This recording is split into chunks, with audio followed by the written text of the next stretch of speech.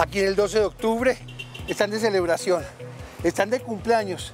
Y me dijeron que hablara con usted y con el señor Dimitri Yepes. Creo que me dijeron que era mitad ecuatoriano, mitad colombiano. Y que está medio loco. Don Próspero, bienvenido al barrio. Gracias. Esta es su casa, el centro del diseño y la creación en Colombia. Me es encanta. el barrio más importante donde todos los fabricantes de muebles de este sector, que somos unos 10 do- 1.200 almacenes, estamos creando y diseñando todo el tiempo. ¿Usted qué es lo que trabaja entonces? Yo trabajo la madera porque nací en la madera, Próspero. Mi padre nació en un pueblo del Ecuador que se llama San Antonio de Ibarra, donde todos trabajan la madera. Yo soy un heredero de la madera y toda la vida he venido trabajando la madera, la creación, la artesanía, el arte. Pero, ¿y quién la- les enseñó esa técnica, esto?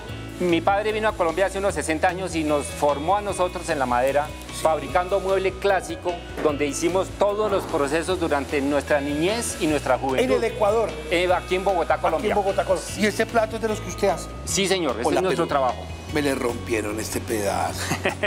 Don Próspero, no lo rompieron. Es el arte. El arte es así, creación, diferencia. ah, es así. Sí, señor. La Ah, naturaleza, aprovechando bonito, la sí. naturaleza de Y la tiene madera. hartos rotos, ¿no? Vea, aquí casi le rompo otro. Vea. Y así, esto es puro arte. Sí, señor, por supuesto. Sí. Eso es aprovechando la naturaleza de la madera, de maderas que traemos de diferentes ¿De partes dónde es esta madera? Esta madera es del sur de Francia, que se llama chopo. Y traemos maderas de África, de Estados Unidos, de China, de Rusia, para hacer diferentes objetos decorativos Y muy artísticos.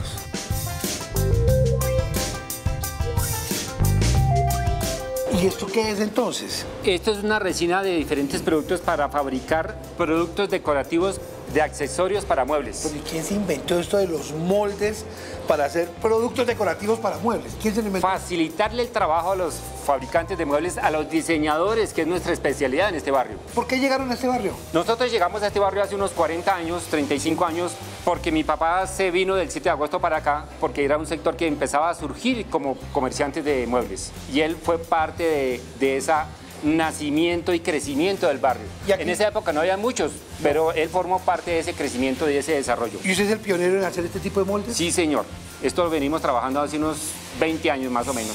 Oiga, lo felicito, de verdad que Y me, hemos ido creciendo me poco a poco. todo lo que de verdad lo que usted hace, de verdad. Usted es un artista. Invento. Es decir, para usted este barrio es Mi alma, mi vida, por supuesto. Aquí es todo. Aquí vivo 24 horas, porque esto es parte de toda la confluencia del mundo, está aquí.